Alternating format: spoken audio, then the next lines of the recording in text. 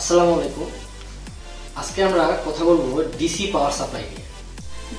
আমরা যারা digital electronics নিয়ে কাজ করি, তাদের জন্য ডিসি পাওয়ার সাপ্লাই খুবই গুরুত্বপূর্ণ একটা জিনিস। মোবাইল সার্ভিসিং থেকে শুরু করে যে কোনো ধরনের সার্কিটের প্রবলেম সলভ করা ট্রানজিস্টর সুইচিং করা, যে কোনো ধরনের ডিসি কার্যক্রম করতে গেলে আমাদের খুব গুরুত্বপূর্ণ বিষয় হচ্ছে ডিসি পাওয়ার সাপ্লাই তো আমার একটা ডিসি পাওয়ার সাপ্লাই ছিল, যেটা নষ্ট হয়ে গেছে, তাই আমি একটা নতুন ডিসি পাওয়ার সাপ্লাই কিনে নিয়ে আসছি। এটা হচ্ছে কুকু ব্র্যান্ডের আর পাওয়ার সাপ্লাইটি আজকে আমরা খুলবো এবং দেখব পাওয়ার সাপ্লাইটি আসলে কেমন। পাওয়ার সাপ্লাইটি সম্পর্কে আমরা একটু আলোচনা করব এবং পাওয়ার সাপ্লাইটির অপারেশন কীভাবে এটা কাজ করে বা কীভাবে কাজ করতে হয়, এই জিনিসগুলো নিয়ে একটু আলোচনা করব। তাহলে চলুন, আমরা দেখি আসলে পাওয়ার সাপ্লাইটা কেমন। এটা পাওয়ার সাপ্লাই এক পিস সতেরোশো টাকা নিয়েছে আমার কাছ থেকে। এটা ইউসুফ মোবাইল সার্ভিসিং সেন্টার, মিরপুরে একটি দোকান। সেখান থেকে কিনে এনেছি। এখন আমি বক্সটিকে আনবক্স করব।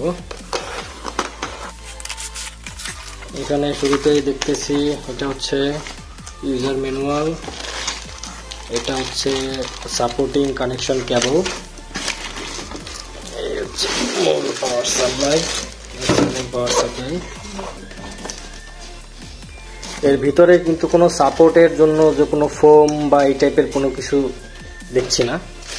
শুধুমাত্র পাওয়ার সাপ্লাইটি ঢুকাই দেওয়া এই হচ্ছে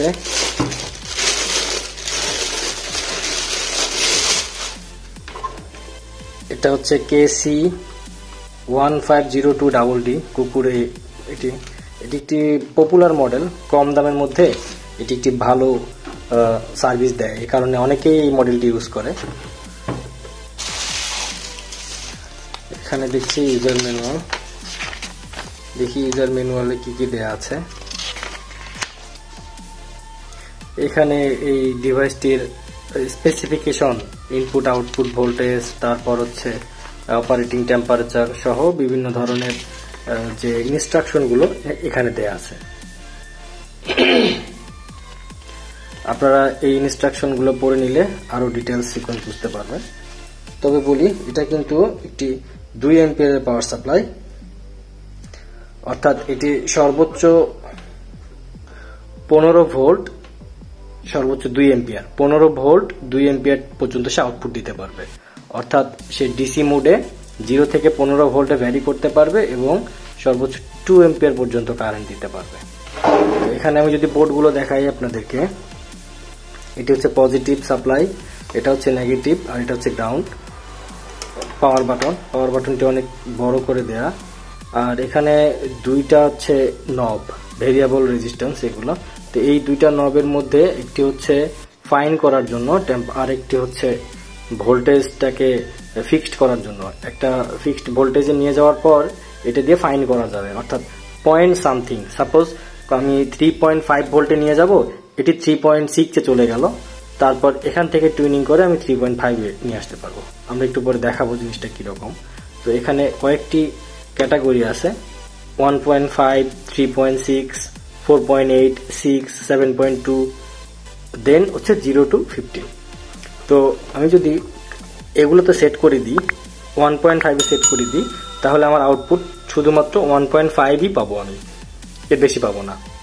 ঠিক সেরকম three point six four point eight six volt এসবের ক্ষেত্রে একই ফিক্সড আর আমি যদি এটাকে জিরো টু ফিফটিন ভোল্টে সেট আপ করে দিই দেন আমি এটাকে ক্যালিব্রেট করতে পারব ইচ্ছা মতো জিরো থেকে ফিফটির মধ্যে। আর এখানে আমি পয়েন্ট সিক্স থেকে টু এম্পিয়ার পর্যন্ত কারেন্ট সেট করে দিতে পারব। অর্থাৎ জিরো থেকে টু এম্পিয়ার পর্যন্ত কারেন্ট সেট করে দিতে পারব। এটার সাইডে হচ্ছে ভেন্টিলেশনের জন্য একটা ব্যবস্থা রাখা হচ্ছে, যে ভেতর থেকে যদি ওভার হিট হয় বা হিটের হিট যেটা হিটটা এই দিক দিয়ে বের হয়ে যাবে। এটি একটি ট্রানজিস্টার ট্রানজিস্টারটি বডির সঙ্গে লাগিয়ে দেওয়া যেন হিটটা ডিজে পেয়ার করতে পারে। এখানে একটা ফিউজ লাগানো আছে। আপনারা যে কোনো ধরনের প্রবলেমে ইলেকট্রনিক ডিভাইসের অর্থাৎ ইলেকট্রিক ডিভাইসের প্রবলেম হলে প্রথমে ফিউজ চেক করতে পারেন। এটা হচ্ছে ফিউজ ফিউজটা লাগাই দিচ্ছি।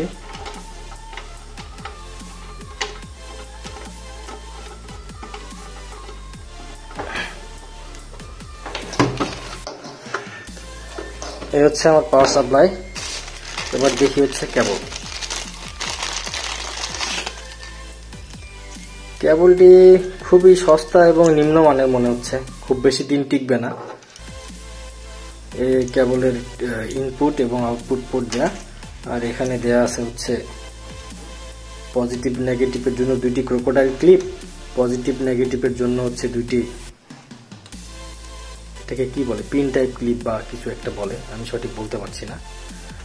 আর সেই সঙ্গে হচ্ছে গ্রাউন্ড এবং ডাটার জন্য আরও দুইটি কেবল এক্সট্রা করে দেওয়া আছে। তাহলে আমরা একটু পাওয়ার দেই পাওয়ার দিয়ে ডিভাইসটাকে চেক করি।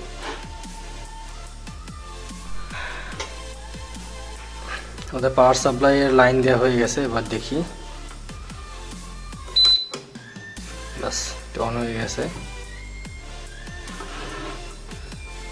এখন এটাকে যদি ভালোভাবে বুঝাই দিই তাহলে ভোল্টেজ সেট করা আছে দশ ভোল্টে। অর্থাৎ জিরো টু ফিফটিনের যে ক্যাটাগরি, সেখানে দেওয়া আছে আমি এখানে ইচ্ছা মতো এটাকে মুভ করতে পারব।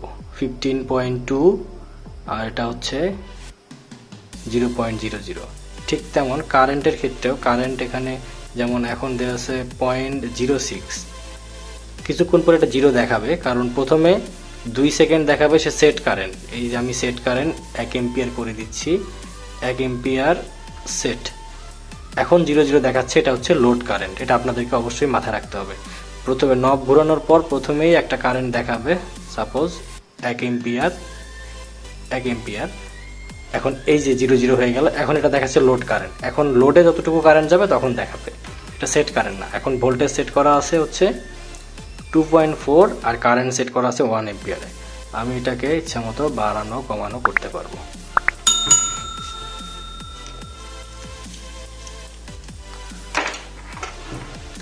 যেহেতু এটা একটা এস ডিভাইস এস শব্দের অর্থ হচ্ছে সুইচিং মোড পাওয়ার সাপ্লাই এ ধরনের পাওয়ার সাপ্লাই একটা বিশেষত্ব হচ্ছে, যদি কোথাও শর্ট সার্কিট হয়ে যায় অটোমেটিক বন্ধ করে দিবে, যেন আপনার সোর্সের কোনো বা আপনার ডিভাইসের কোনো প্রবলেম না হয়। তাহলে এবার আমরা কি করব? এবার আমরা করব হচ্ছে কারেন্ট টেস্ট এবং ভোল্টেজ টেস্ট ভোল্টেজ টেস্টটা করি। কারেন্ট টেস্ট করার প্রয়োজনীয় মিটার আমার কাছে এই মুহূর্তে অ্যাভেলেবেল না। এই কারণে আমরা শুধুমাত্র ভোল্টেজ টেস্ট করব। এটা হচ্ছে ভোল্ট মিটার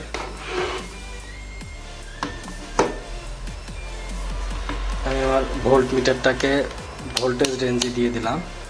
যেহেতু আমার এই power সাপ্লাইটার voltage deviation zero to fifteen volt তাই আমি টোয়েন্টি ভোল্ট রেঞ্জে দিয়ে দিলাম ডিসি ডিসি টোয়েন্টি ভোল্ট এবার আমি ক্রোকোডাইল ক্লিপটি নেগেটিভ ক্লিপ নেগেটিভের সঙ্গে এবং পজিটিভ ক্লিপ পজিটিভের সঙ্গে দিয়ে দিচ্ছি। এখন আমরা দেখব যে আসলে ভোল্টেজ অ্যাকুরেসিটা কেমন। দেখা যাক। ফাইভ ভোল্ট আমি এটাকে অন করে দিচ্ছি।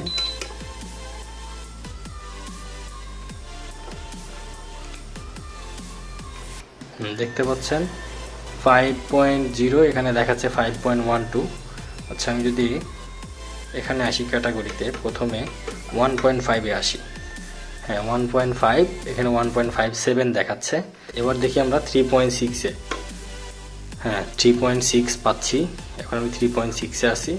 এরপর যাব হচ্ছে ফোর পয়েন্ট এইটে ফোর পয়েন্ট এইট এখানেও ফোর পয়েন্ট এইট পাচ্ছি।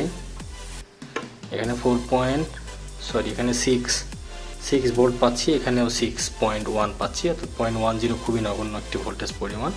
এরপর নেক্সট হচ্ছে সেভেন পয়েন্ট টু এখানেও সেভেন পয়েন্ট টু পাচ্ছি। সব শেষে হচ্ছে zero to fifteen zero to ফিফটিনের মধ্যে এখন ফাইভ ভোল্ট সেট করা, তাই আমি ফাইভ পাচ্ছি।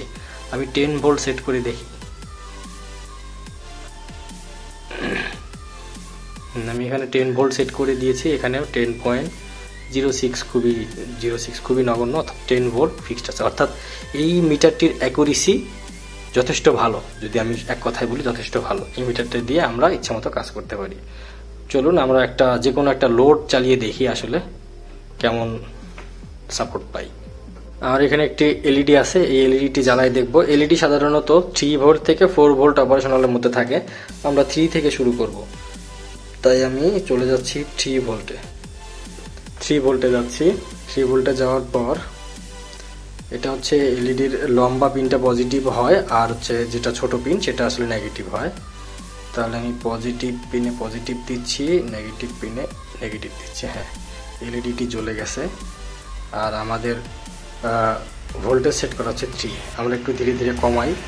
হ্যাঁ কমানোর সঙ্গে সঙ্গে বেড়ে যায়। অর্থাৎ এলইডি এলইডিটা হচ্ছে টু পয়েন্ট টু ভোল্ট থেকে স্টার্ট শুরু করে, এর ব্রাইটনেস বাড়তে থাকে। এখন হচ্ছে থ্রি ভোল্ট থ্রি ভোল্ট এবার আমি দেখি কতটুক পর্যন্ত গেলে এলইডিটা কেটে যায়। আমার ধারণা ফোর ভোল্টের উপরে গেলে এলইডিটা কেটে যাবে। তাই আমরা ট্রাই করি ফোর ভোল্টের উপরে যাওয়ার ট্রাই করি।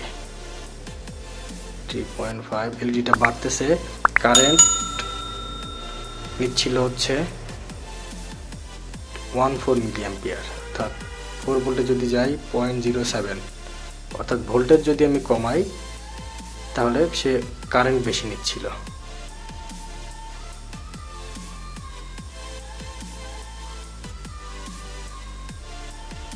হ্যাঁ ফোর ভোল্ট এই ফোর ভোল্টের উপরে চলে গেলে এটি আসলে ধীরে ধীরে ধীরে ধীরে কমে যাচ্ছে এবং ফাইভ ভোল্টের উপরে গেলে লাইটটি ফিউজ হয়ে গেল।